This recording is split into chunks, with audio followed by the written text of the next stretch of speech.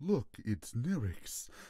We should follow him into that warehouse before the next wave of Xenos come.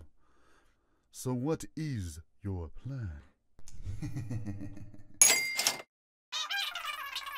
What? What do you mean it disappeared from our sensors?